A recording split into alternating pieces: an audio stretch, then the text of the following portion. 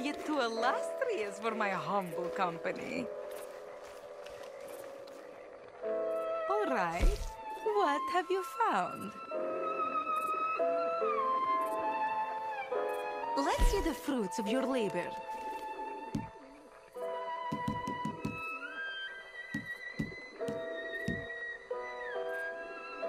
Now this, this is rarity.